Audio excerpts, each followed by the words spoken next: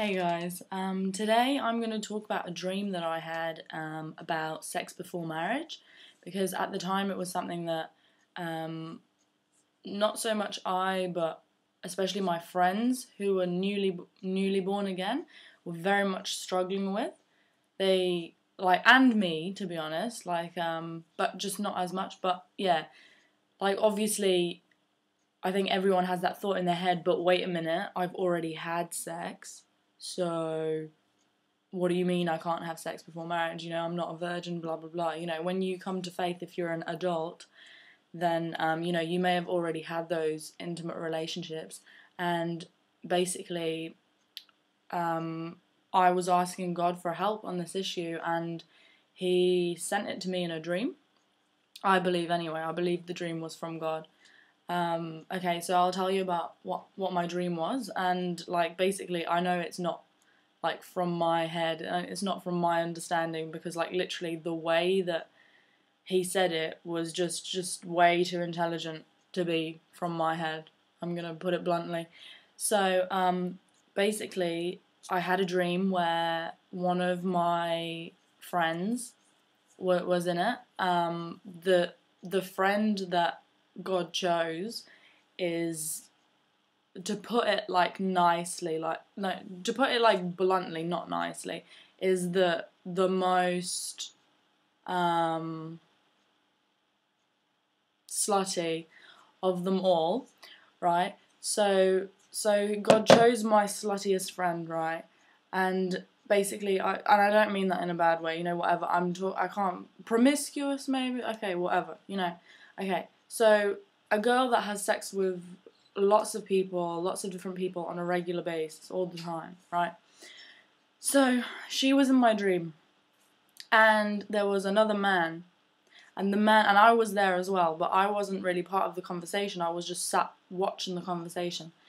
And the girl was getting ready to get into bed with another guy, and this guy says to her, um, bas- basically explains why we should wait. And he said he used the parable of, like, well, he used like a parable. He used a parable of fish. So he said basically, for example, um, say you're on a beach and you've got like the shallow water and you've got your little, little shallow fish, you know, the little tiny ones. He said if you keep like paddling in shallow water, all you're ever going to get are these little puny, you know, just not stupid, but puny fish. Like, not pretty, not anything special. There's going to be little puny ones, you know. You're in shallow water, you're going to get a shallow fish. You know, that's what he's saying. And he's saying, you know, take, he was saying, take the time to, you know, swim out deeper into the ocean because when we swim deep into the ocean, then we can find ourselves a big fish, a beautiful fish. Loads of different colours, different shapes, like fish you've never seen before, fish you never even knew existed. He said. He said if you stay in the shallow water, you know, yeah, you're gonna get, you know, yeah, you can keep you can keep running after the shallow fish. You can run left, right, and centre on the shallow water, but unless you swim deep into the ocean, you can't get yourself the beautiful fish, the big fish, the intelligent fish, the like magnificent fish, you know? And then that's the part that I understood. and then this is the, but like obviously he said it in a better way. I'm just like simplifying it. You know, I can't repeat those words of wisdom because literally I woke up and I was like, hmm, that's not from my head. Yeah, and then um, and then next he also used parables of fishing and like I'd only been fishing once when I got this dream, and I had no idea what he was talking about. So to be honest, I can't really explain the next part of the dream. But he was talking about different fishing hooks and different different weights and stuff. So when you're in shallow water, you this this, and when you're in the big one, you you get your other hooks or your whatever. And I I didn't understand like a single thing because like I I don't fish but like maybe that was only for me to understand that this is not from my head. Like that this is you know.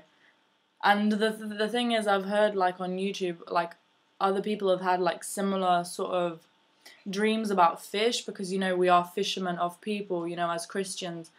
And so I don't know. Maybe God likes to use the fish in in, in ways to you know explain to us, but but yeah, there was more to it. Um, but I just wanted to to share that with people who are particularly struggling with the no sex before marriage, and um, if we need like to explain to our like non-Christian friends or to Christian friends who are struggling with it, I think that it is something that we all struggle with. I don't think it's you know something that as a Christian you're like ah.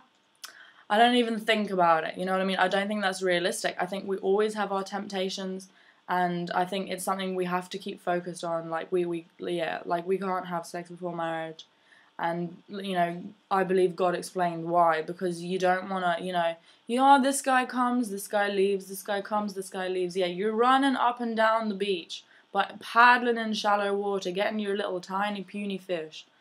No, like he says, you swim, swim, swim, swim, swim, swim, and then you'll like see something beautiful, you know and something deep and something, yeah, magnificent.